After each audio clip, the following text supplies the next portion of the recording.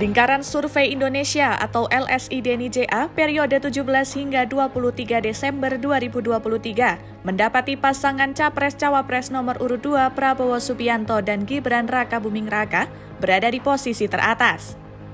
Elektabilitas dari paslon nomor urut 2 itu mencapai 43,3 persen mengungguli dua paslon lainnya. Berikut urutan elektabilitas ketiga pasangan Capres dan Cawapres menurut LSI DNIJA. Prabowo Gibran berada di posisi teratas dengan elektabilitas sebesar 43,3 persen. Sementara itu posisi kedua diduduki oleh Anies Muhaimin dengan elektabilitas sebesar 25,3 persen. Dan posisi ketiga oleh Ganjar Mahfud dengan elektabilitas 22,9 persen. Sisanya sebesar 7,9 persen menyatakan belum memutuskan rahasia, tidak tahu atau tidak menjawab.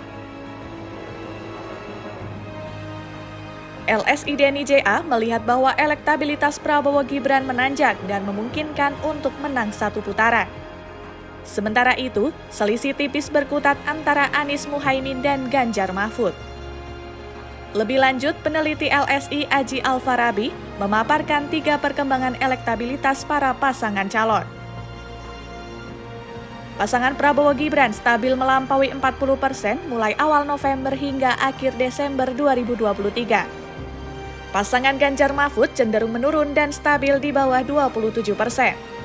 Kemudian pasangan Anies Muhaimin stabil menanjak bahkan kini melampaui Ganjar Mahfud. Menurut Aji, ada tiga alasan elektabilitas Prabowo Gibran stabil menanjak, yaitu popularitas Prabowo tinggi, Gibran semakin populer dan disukai, serta adanya migrasi pemilih yang puas dengan kinerja Presiden Joko Widodo.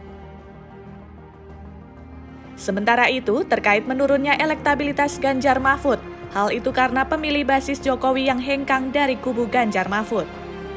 Untuk elektabilitas Anies Muhaimin melampaui Ganjar Mahfud, karena paslon nomor urut satu itu semakin tegas menjadi oposisi dan mengusung perubahan.